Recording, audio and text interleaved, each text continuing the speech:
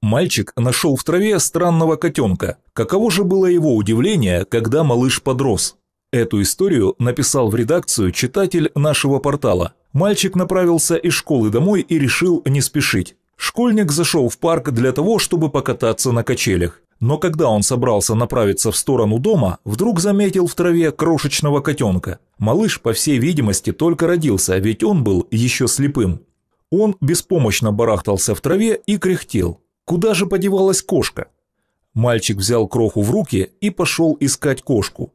Он ходил по парку, расспрашивал взрослых, не видели ли они поблизости кошку и звал нерадивую мамашу. Но так и не нашел ее. Нужно было идти домой, а котенка было так жалко оставлять одного. Мальчик принес малыша домой. В семье решили покормить котенка из пипетки. Малыш был голоден и не отказался от предложенного молока.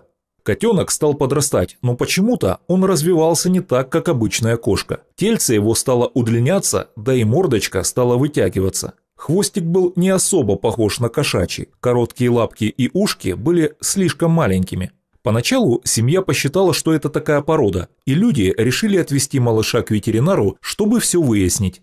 Ветеринар обследовал малыша и рассказал, что это не породистый котенок, а совершенно другое животное.